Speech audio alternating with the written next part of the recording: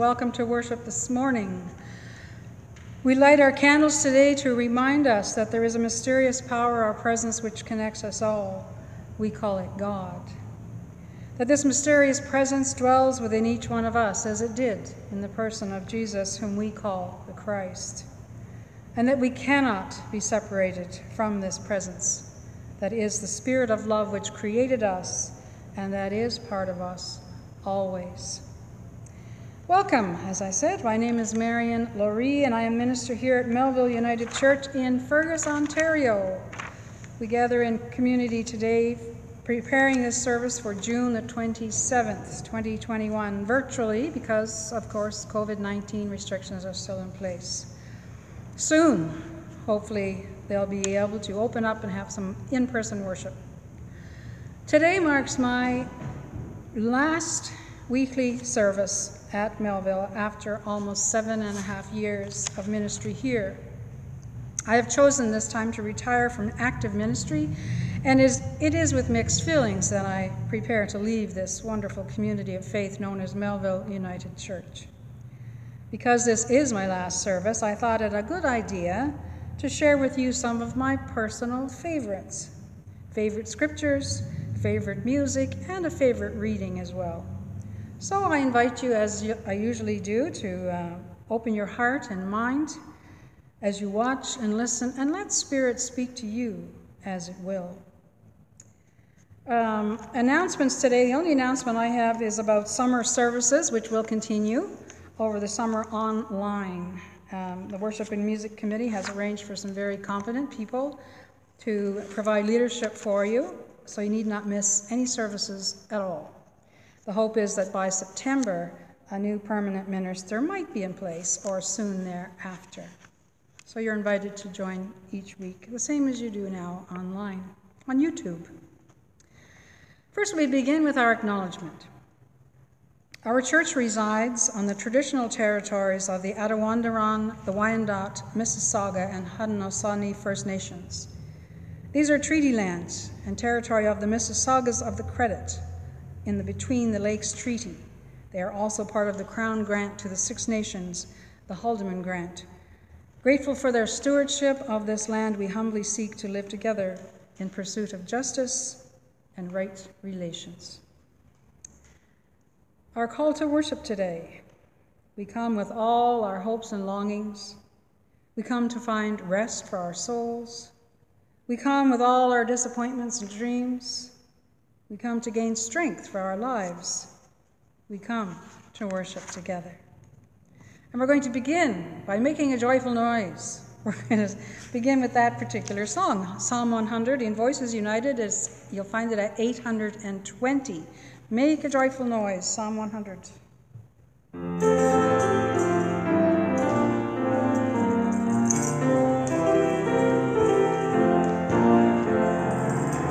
Make a joyful noise,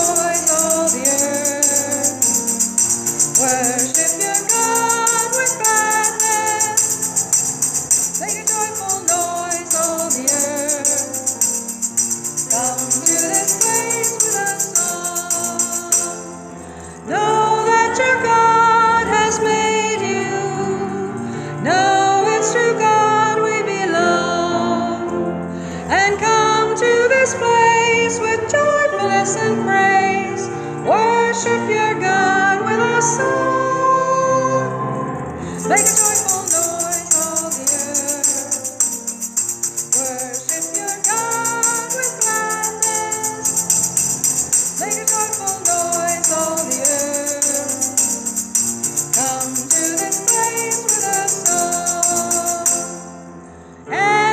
These gates, thanksgiving.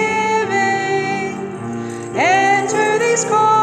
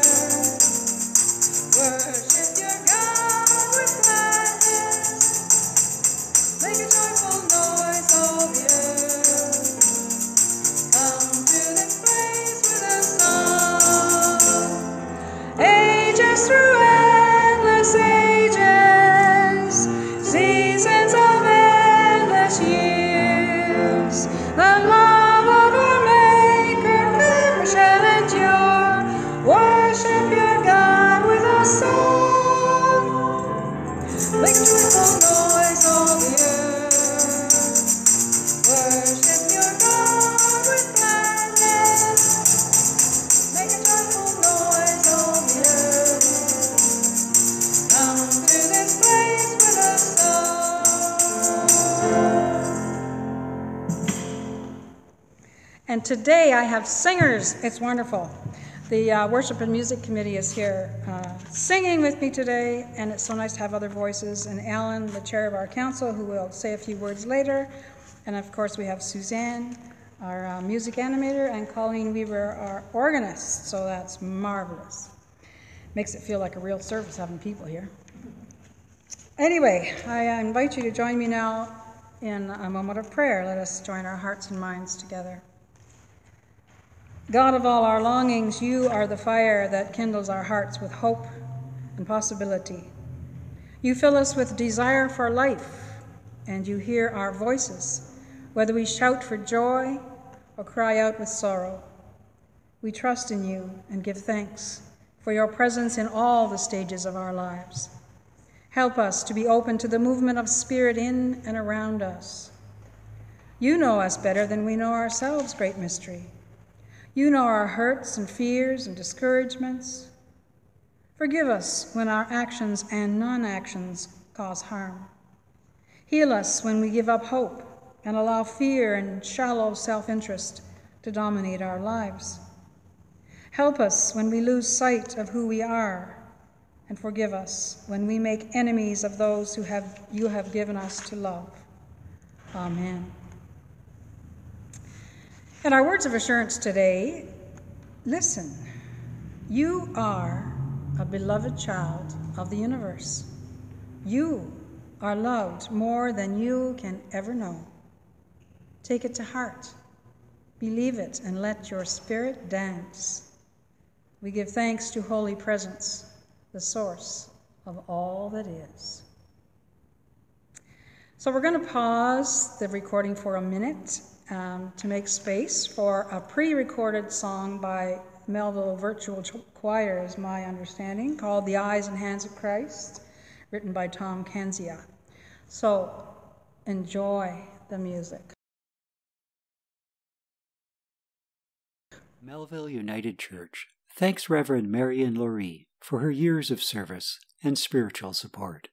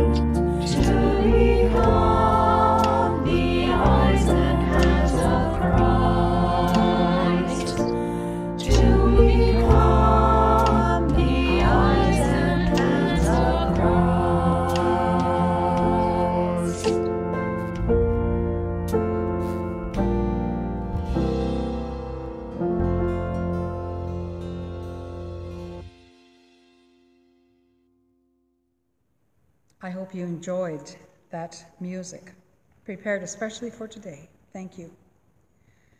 So rather than one longer message today, I will share some of my favorite scripture readings, as I said, and offer a few thoughts on each as to why it is my favorite. The first one is portion of Psalm 139, reading verses 1 to 14. O God, you have searched me and known me. You know when I sit down and when I rise up. You discern my thoughts from far away. You search out my path and my lying down, and are acquainted with all my ways. Even before a word is on my tongue, O oh God, you know it completely. You hem me in behind and before and lay your hand upon me. Such knowledge is too wonderful for me. It is so high I cannot attain it. Where can I go from your spirit? Or where can I flee from your presence? If I ascend to heaven, you are there. If I make my bed in Sheol, you are there. If I take wings of the morning and settle at the furthest limits of the sea, even there your hand shall lead me, and your right hand shall hold me fast. If I say, Surely the darkness shall cover me, and the light around me become night, even the darkness is not dark to you. And the night is as bright as the day, for darkness is as light to you. For it was you who formed my inward parts. You knit me together in my mother's womb. I praise you, for I am fearfully and wonderfully made. Wonderful are your works. That I know very well. So ends our first reading. This first little reflection is called Intimacy. I love this psalm because it reminds me that I am never alone. It reminds me that there is a creator, a loving presence from which I cannot be separated. It speaks to me of a presence that is with me through whatever may befall, a presence that is intimately involved in every aspect of my living. It is an intimacy that can be matched by nothing I may experience outwardly in this earthly life. I've often said, there is no place you can be where God is not. And that makes sense if you think of God as part of you. For me, God is the life force of all that is without which we, the life force of all that is, without which we could not be. Without universal energy or presence, there is no universe. And if there is no universe, there is no earth. And if there's no earth, there's no life here. And if there's no life here, there is no us. It is as simple as that. Whether we know it or not, acknowledge it or not, or even think about it at all, there is no relationship as intimate as the one we have with the divine presence. It is as intimate as breathing and as necessary for life. We cannot be without it. So that is why this psalm is one of my favorites. And we're going to sing one of my favorite hymns now. One of the reasons I like this one is because it speaks of the intimate nature and presence of God. It is found in Voices United at 278. It's called In the Quiet Curve of Evening. Let's sing.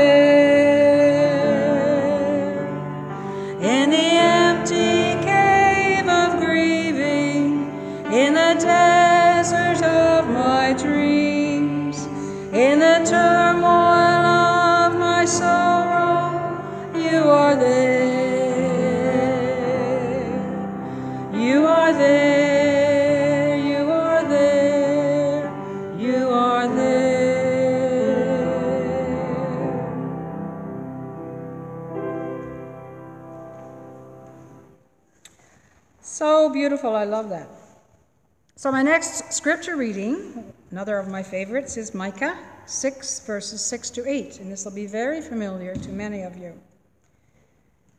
What shall I bring when I come before Yahweh and bow down before God on high? Am I to come before God with burnt offerings, with year old calves? Will God be placated by thousands of rams or tens of thousands of rivers of oil? Shall I offer my firstborn for my wrongdoings, the fruit of my body for the sin of my soul? Listen here, mortal. God has already made abundantly clear what good is and what is required of you simply to do justice and to love kindness and to walk humbly with your God.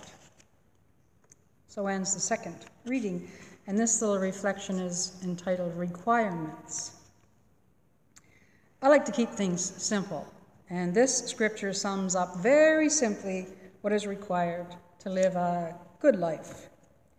Do justice, treat people fairly, speak out for those who can't speak for themselves, voice your opposition to unfair practices.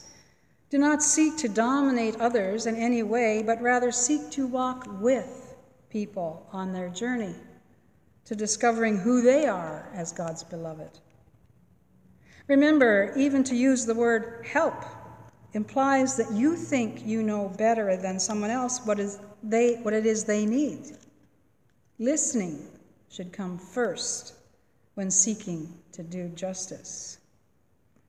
Love kindness, care about people, both people you know and people you don't know. Treat the stranger with the same regard and consideration you would treat a friend. And that includes strangers who look different, who worship differently, who speak a different language, who act differently, as well as those whom you might judge to be unworthy.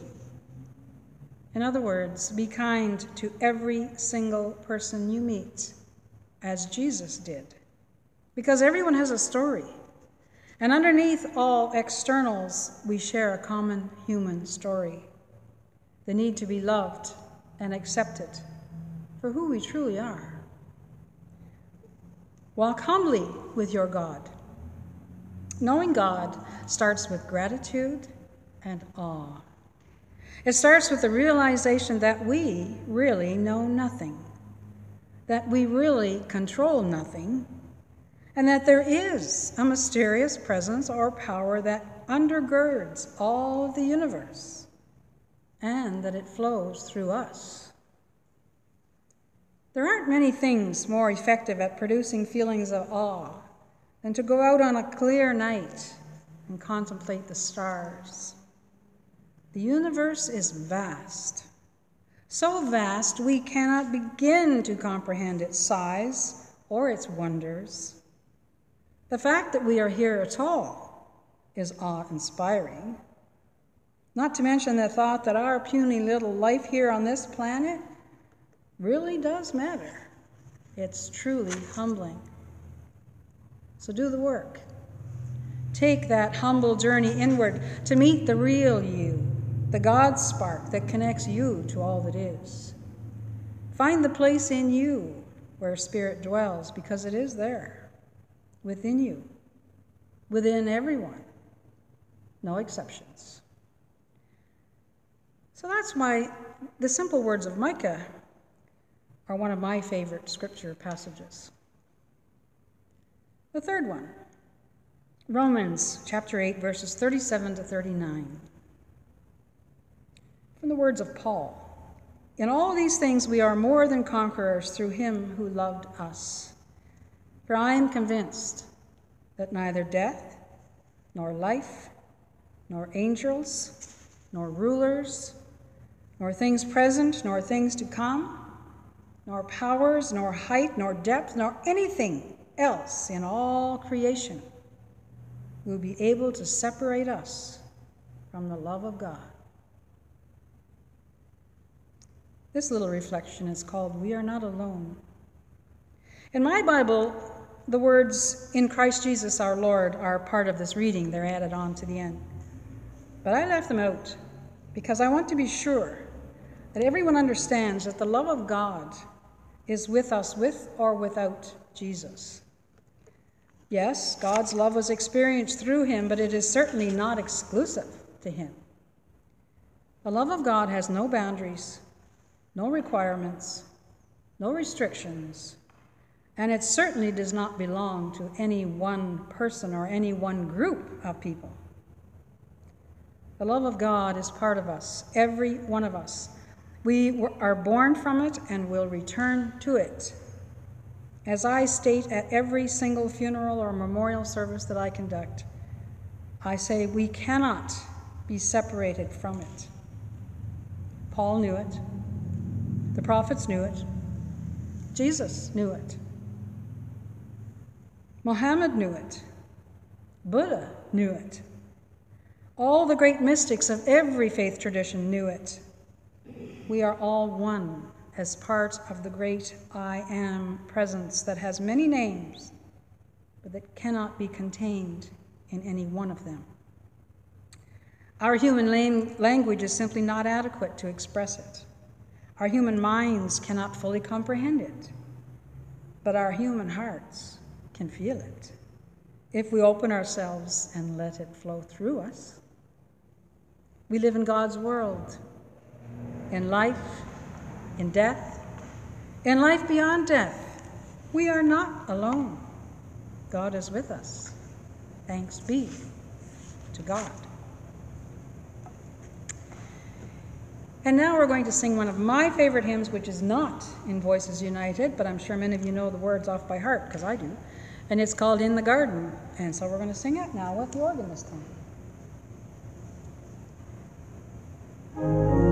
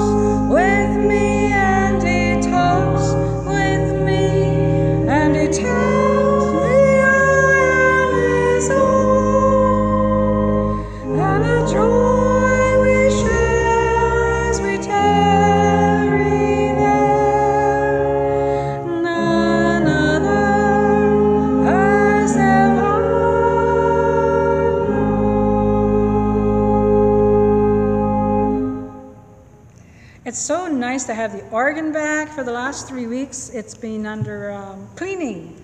Uh, once in a 25 or 30 year cleaning, they take all the pipes down that are in the back of here, clean them all, put them all back, and it just it sounds so much better, and it's so nice to have it back again.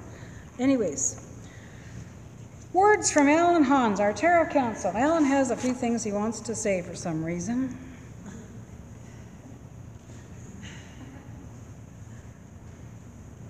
Come into the limelight here. Thank you, Mary. And it doesn't matter what technology I'm using, I'm always too tall for it. so just going to kneel up a little bit here. Just, just back up. Oh. Did you turn it on? We have a red light. What are the chances, eh? It's not retirement. it's not turning here. Just use this one.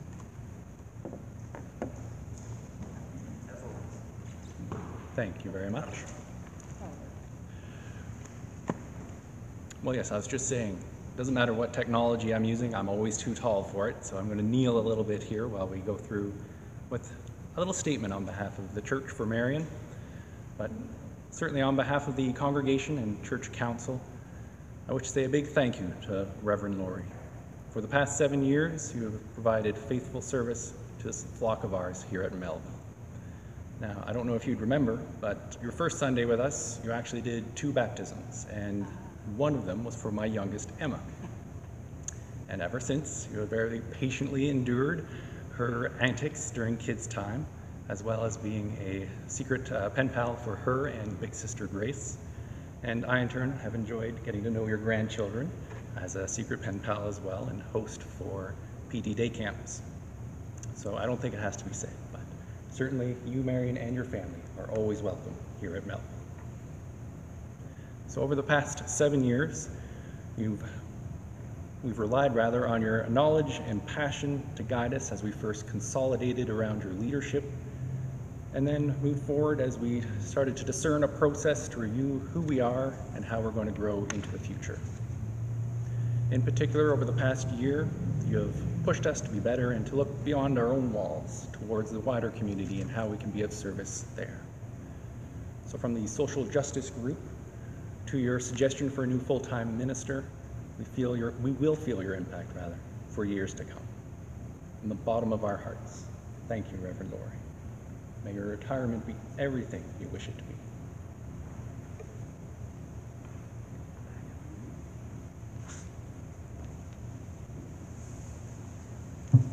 Thank you so much, Alan, for those kind, kind words. And I would be remiss if I were not to include some parting words today, too. As uh, Alan said, I started my ministry here at Melville almost seven and a half years ago, February of 2014. It's been a wonderful experience all the way around. We've seen a few changes during that time, as Alan kind of alluded to. One of them being a change in music leadership, and another being a change in youth and kids' church leadership, along with some other things. But through it all, Melville people kept looking and moving forward. I have experienced Melville folks as faithful, caring, supportive, hardworking, involved, fun, dedicated, accepting, collaborative, talented, and many, many ways, and so much more. This past year of COVID has been a challenge, but many came forward to do what was necessary to get us online and to stay connected. Many thanks to the phoning team. And procedures were implemented to keep people safe when we were allowed to open for a few weeks in the fall. The Church Council has worked hard to not only keep in touch with people, but to work faithfully toward the future by exploring different ways to be church in this community. So, as I leave you to ride off into the sunset, as they say, to enjoy some downtime, I feel confident that Melville is in good hands and is on the verge of becoming so much more than declining membership numbers would indicate. Don't fear the future, embrace it, and go forth boldly, letting Spirit lead you. Thank you also very much for allowing me to minister with and among you. It has been a pleasure. Now, I want to leave you with another of my favorite readings.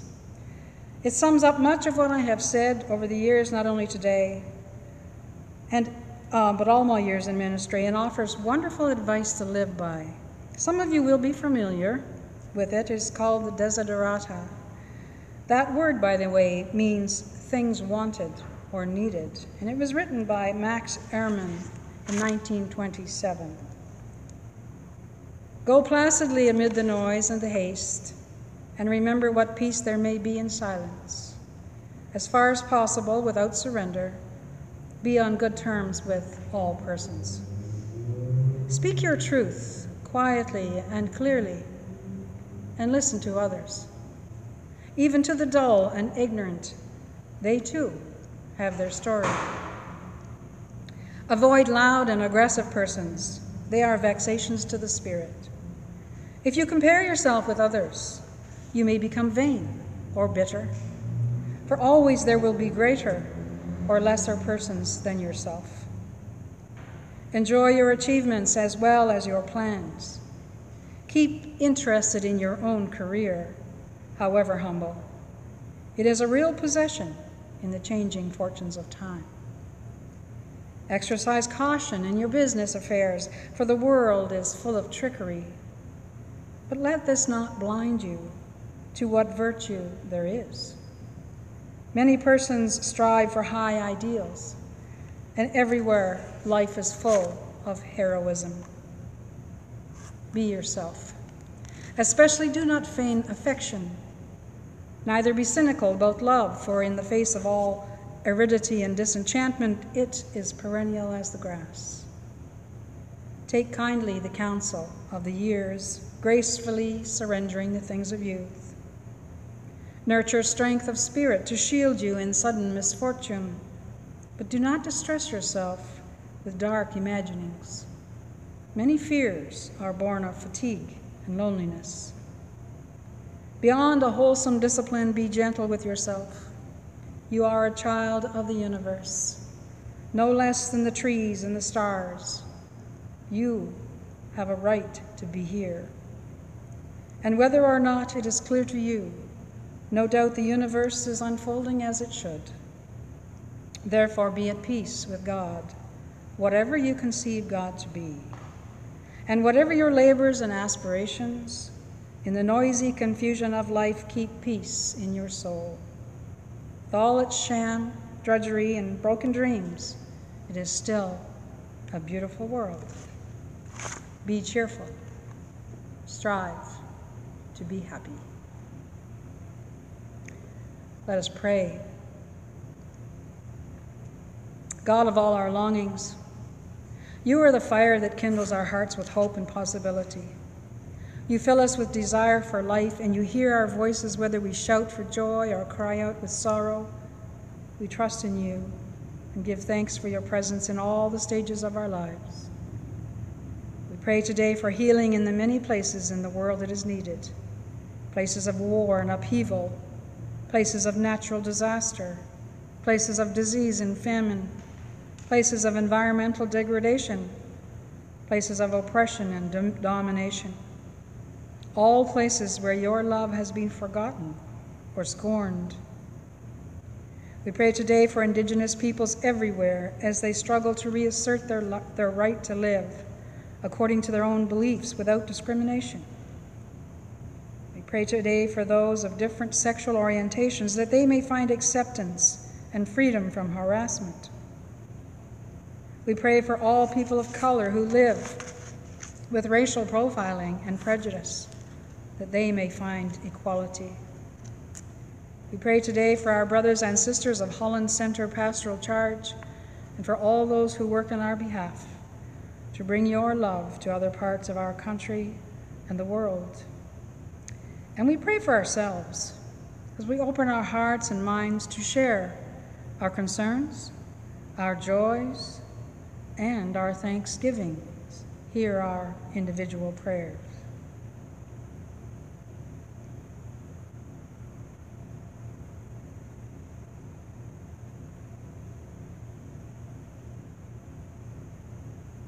We pray for this community of faith called Melville United Church as they seek to do your work here in Central Wellington.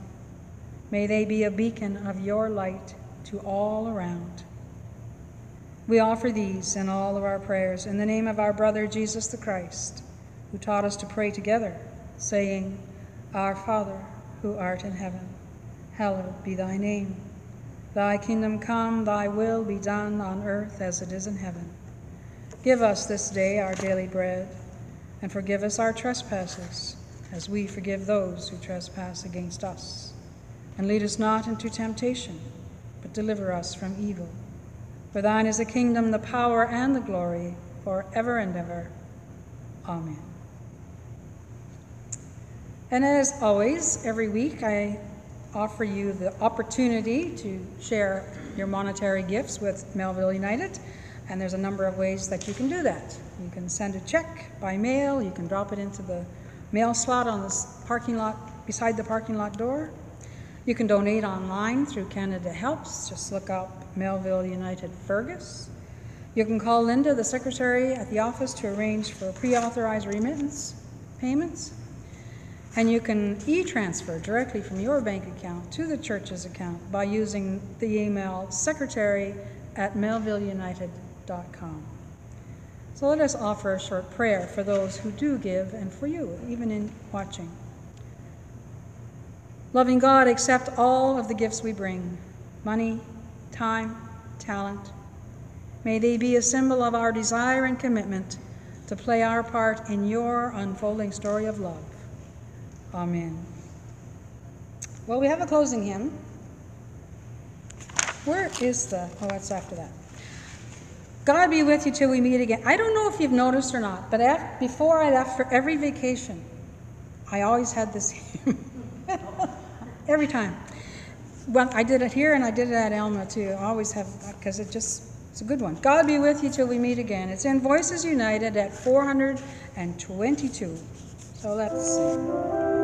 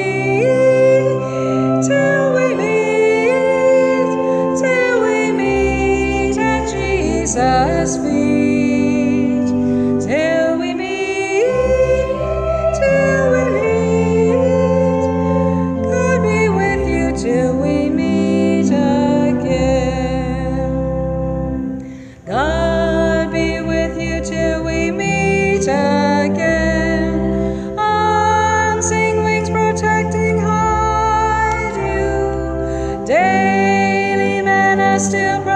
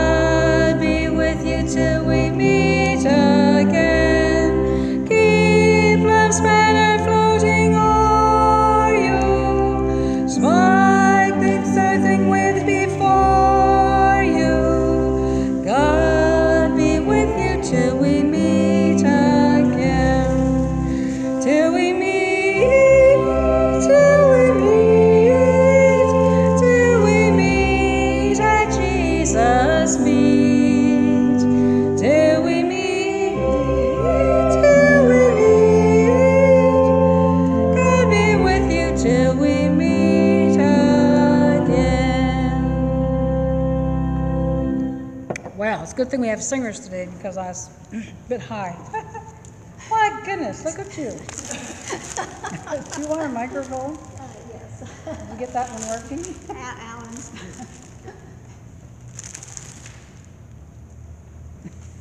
Thank you, Alan.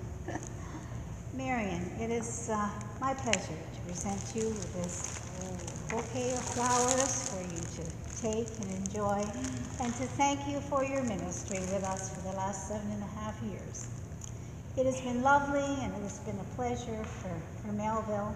And I know the last year and a half, uh, you probably didn't expect a pandemic to come. but anyway, we thank you uh, for your leadership during that time because um, you certainly had to find a way to do ministry in a different way. And we thank you very much. We thank you sincerely for that because um, you just took up the slack and just continue to lead us on our way. So we appreciate that very, very much. May God bless you in your retirement. And we'll be thinking of you often. Thank you. Thank you so much. Look at that. That's absolutely gorgeous. Oh, you can see it good up on the screen. Thanks, Rossi. Beautiful. Thank you. They do. Wow. Who'd have thought? Let's put them there for a second. We're going to hear a musical treat now, another gift for me. As uh, organ and piano are going to play together, may the good Lord bless and keep you. So we have Colleen Weber on the organ and Susanne Llewellyn on the piano. So let's hear this wonderful music.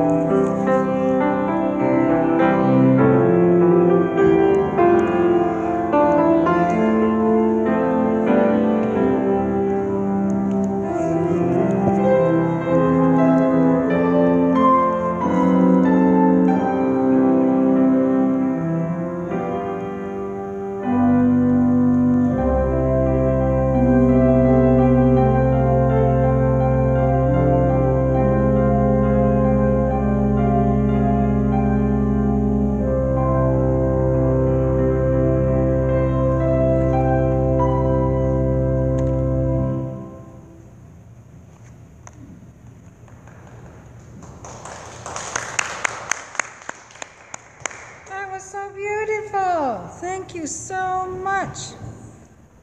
So let us go from here to serve the world God loves with hearts full of tenderness and joy, and minds full of eagerness and hope. And may the blessing of God, who both goes with us and meets us on the way, surround each one of you this day and always.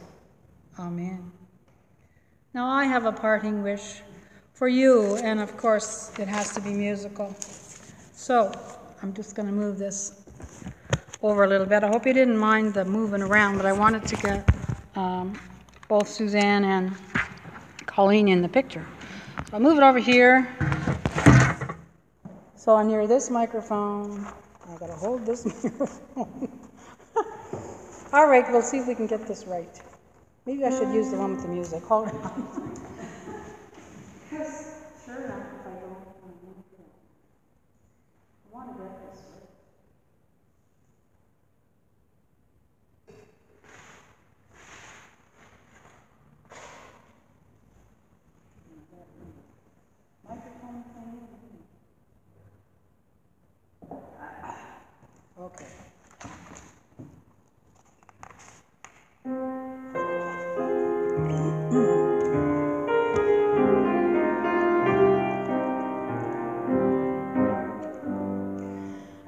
Goodbye,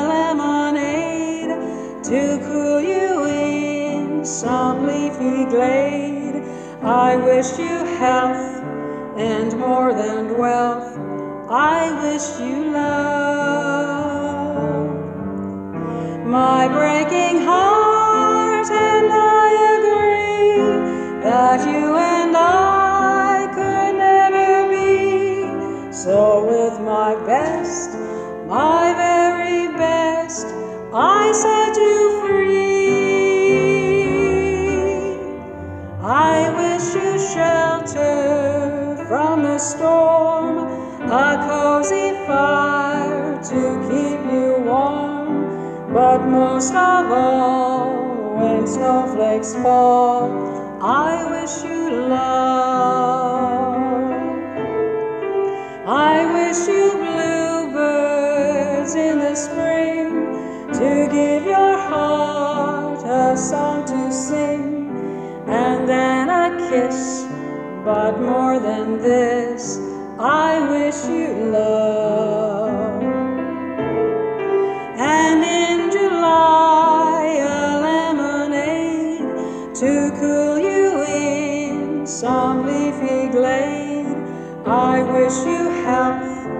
And more than wealth.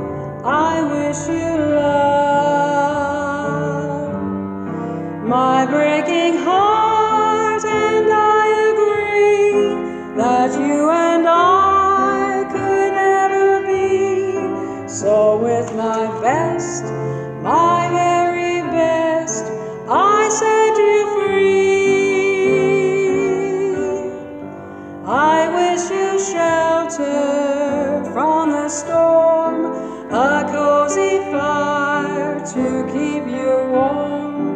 but most of all, when snowflakes fall, I wish you love.